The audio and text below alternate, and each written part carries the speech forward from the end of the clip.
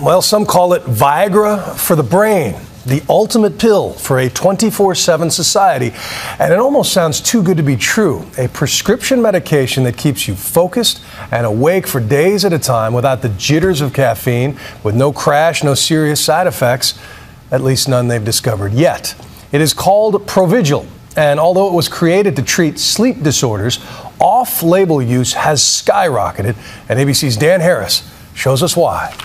They say that we can only access 20% of our brain. This lets you access all of it. The idea is so tantalizing, they made a movie about it. In Limitless, Bradley Cooper plays a down and out writer who starts taking a new drug, and poof. A tablet a day, and I was limitless. This notion of better living through chemistry. What's your secret? Medication. It may seem utterly fantastical. But not so, says Dave Asprey, a successful executive. He often gets up at 4:45, pops a pill, prepares breakfast for his two children. Really? There you go. Then gallops into his high-pressure job as vice president of a billion-dollar internet security firm. This can be the difference between I'm just making it through the day to I had like the best day of my life. The drug is called Provigil. It's only approved for narcolepsy, sleep apnea, or for people who work irregular hours. But many people are now taking it for an off label use to boost energy and focus. The drug, which has been nicknamed Viagra for the brain, is quietly being used by military pilots, pro athletes, pro poker players, and maybe by the man or woman who's kicking your butt at the office. On the internet, there are hundreds of sites evangelizing for Provigil, explaining how to get your doctor to prescribe it to you or how to get it without a prescription. In fact, there is literally one site called buyprovigilwithoutprescription.com. We found a whole secret society of the successful using Provigil to get ahead. The lobbyist who gets up at 5 a.m. for two full workouts before work. I could not do this without the Provigil. It wouldn't be the same. From what you're saying, it sounds like it's hard to overstate the impact that this has had on your life. It's amazing. I just don't get it why more people don't know about it. The computer programmer who can now write code for 12 hours at a time. It helps you focus up for exceptionally long periods of time. And the brain researcher finding connections nobody else is seeing. It's just a clear day. The fog isn't there. Turns out they are sisters, but the brain researcher can't get a prescription. So the two women have established their own little black market. How often do you send her pills? Well, um, the poor thing. She tries to use it very sparingly so that I don't have to send her as much. But she says too that you know she couldn't live without it. We call it the miracle drug.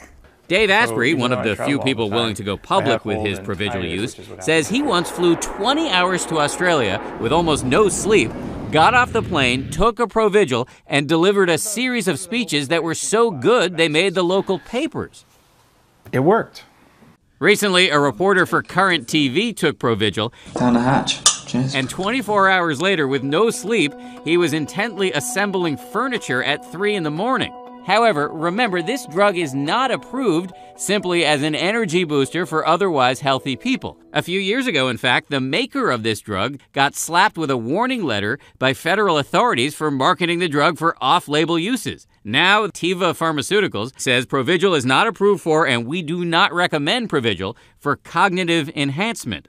We called doctors all over the country to ask them, is there a downside to Provigil? And they told us there are rare cases of people developing a life threatening rash, but the truth is, most people do not suffer any side effects. There is, however, one big fear, and it is what we don't know. There have been no studies of the long term effects of Provigil on people like Dave Asprey. So, why put yourself at undue risk when you could simply get more sleep and engage in habits that are conducive for good sleep? Still, the believers are determined to take Provigil, even if it means they're making themselves into human guinea pigs. Okay, we're gonna have to start over. Dave Asprey agrees it's a miracle drug. As a kind of experiment, we asked Dave to stop taking the drug for three days and undergo cognitive tests to measure his concentration and reaction time. During this whole 72 hour period, he said he just felt off. I've noticed that my speech is very slightly altered. After three days, I watched as he popped a Provigil. All right, so I guess let's do it. Let's see. It took only 17 minutes for him to snap back. The world suddenly seemed brighter, he said. Dave compared it to the scene in The Wizard of Oz where it goes from black and white to color. And remember those cognitive tests? Even we could see it on the screen, a pronounced improvement over the day before. He says even if it were to turn out that Provigil could shorten his life, so be it. I would like to really live during those years when I'm alive. Provigil helps me do that. A little pill posing a provocative question. In a modern world where everybody wants an edge, how far are you willing to go? For Nightline, this is Dan Harris in New York.